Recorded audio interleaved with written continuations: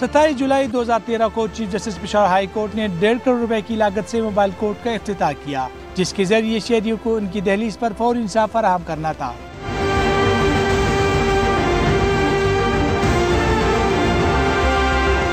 Mobile court نے ابتدا میں حیات آباد، ترنا فارم اور دودھے کے علاقوں کا دورہ کیا اور لوگوں کے کیسز موقع پر نمٹائے، لیکن بعد میں یہ سلسلہ روک دیا گیا۔ قانون سے وابستہ افراد کے مطابق موبائل کورٹ شہریوں کو انصاف کی فراہمی کے لیے اچھا اقدام تھا۔ پتہ نہیں کہ کیا وجہ ہے اس کو ایک سائٹ پر رکھا گیا ہے۔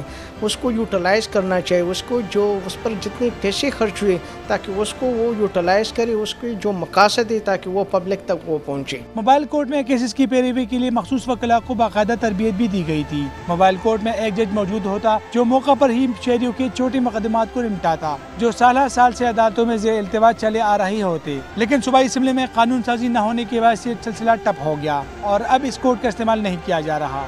عوام کے مفادات کے مطابق، ان کی جو ضرورتیں، ان کے مطابق یہ کبھی سوچتے نہیں ہیں۔ ان کی سہول، ان کو سہولتیں دینے ان کا کام ہے۔ یہ جو ڈے ٹو ڈے جتنی بھی ہماری مشکلات ہیں، وہ ختم کی جا سکتی ہیں۔ اگر یہ ہمارے جو ممبران اسمبلی ہیں، اس کے لیے کچھ ضابطے بنائیں کچھ قانون سازی کریں۔ گزشتہ چار سالوں میں خیبر پختونخوا حکومت نے ایک سو پندرہ نئے قوانین متعارف کروا دیے ہیں جن میں سے بعض قوانین پر عمل درآمد نہیں ہو سکا جبکہ کچھ ابھی زیر التوا ہے۔ Nearly round about one fifty تک قانون سازی کی ہے۔ اینڈ ریگارڈنگ موبائل کورٹس اس پہ بھی ہم انشاءاللہ کر رہے ہیں۔ قانون دانوں کے مطابق موبائل کورٹ کو کنزیومر کورٹس کے طور پر استعمال کر کے شہریوں کی مختلف کیسز فوری طور پر حل کیے جا سکتے ہیں۔ کیمرامین اسد قمر کے ساتھ مسرت اللہ دنیا نیوز پشاور۔